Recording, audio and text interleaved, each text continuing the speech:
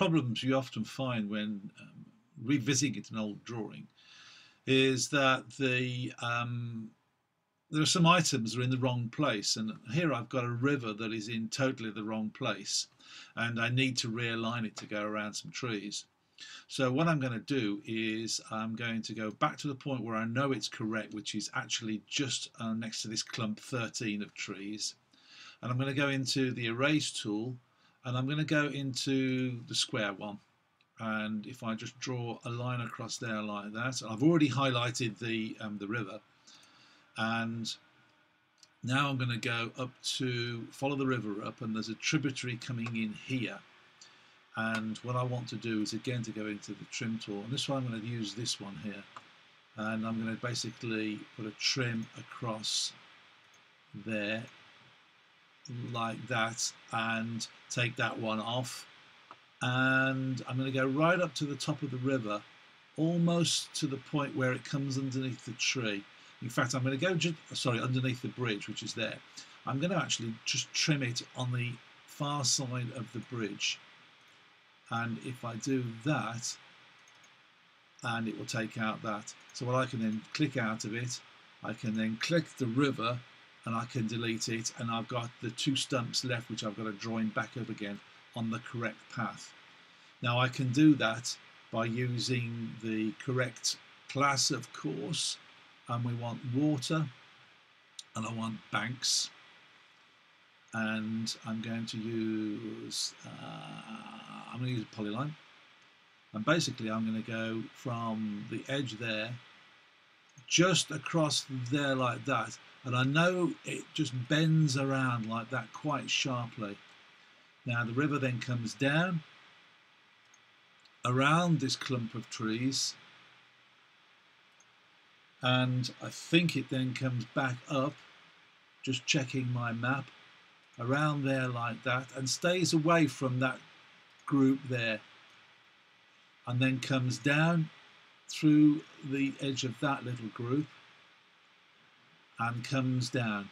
And what I'll do is I'll refinish this in a second and uh, you'll show you the, the finished item because what I want to show you is how to add surface, in other words, add the two back together again. Interesting way. Or I can actually leave it and make it look as though they are add surface. So join me in a second, as they say. Okay, we're here and I have, as you can see, realigned my river.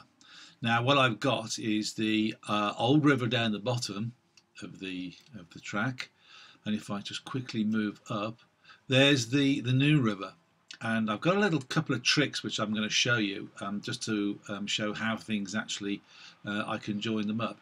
If you remember what I did was I um, I moved I removed that tributary and obviously there's a bit of a gap there at the moment. So what I can do is I can double click on that and I can just move that down and put it into the river like that. And you know the trick of actually going in and saying uh, modify add surface and they become one which is what I want to, to achieve. Now if I highlight the river again and follow it down the tributary to the bottom you see that I clipped it off a little bit high so what I want to do is I want to add surface to those two and get rid of that little chunk at the top. So what I'm going to do is use the clip tool and I'm going to oops, highlight the bottom end of the river. I'm going to use the clip tool and I'm just going to, oh, my phone's going.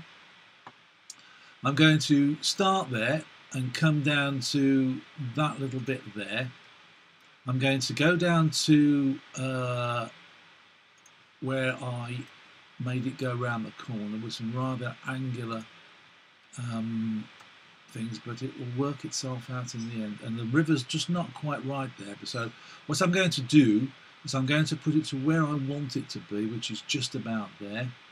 Now I'm going to click out there and bring it all the way up, out of the way, and I'll double click, and that should remove it nicely.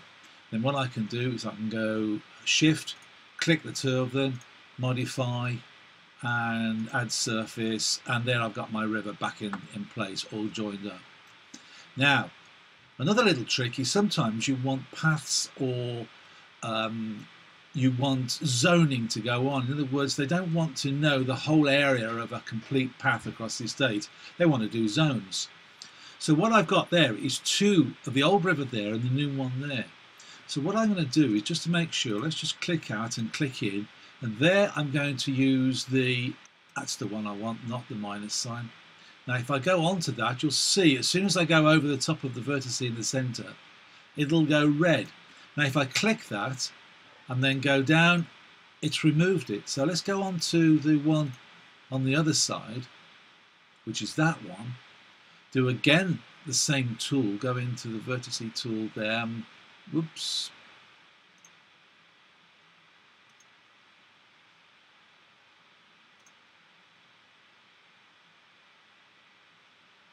Highlight it first. Go into the tool there, and you can see as soon as I go over the top of the um, of the of the vertex there, I can click on that. Now, if I click out of it, then there is a slight little line there where the two have overlapped each other, and I can correct that in a second. But basically, it means that the two end lines for this are invisible and it makes the river look as though it's one, but it's not. They're actually all part of the same system. Now, sometimes that might be quite interesting, but at the moment I don't particularly want that. So I'm going to click on that one, click on that one, and add surface, and they'll become one. There we go. Excellent. So that's how you can alter quickly and easily. Um, trying to move paths, uh, which are polylines, uh, really is a pain. It's difficult. The easiest way sometimes is to mark the new route that you want it to take, path or a river or whatever, and then remove it. Then remove the old path and then realign it to the new dotted line. And I put a dotted line where I wanted it to go so I didn't forget. Anyway, hope that's of interest to you. Talk to you later. Bye.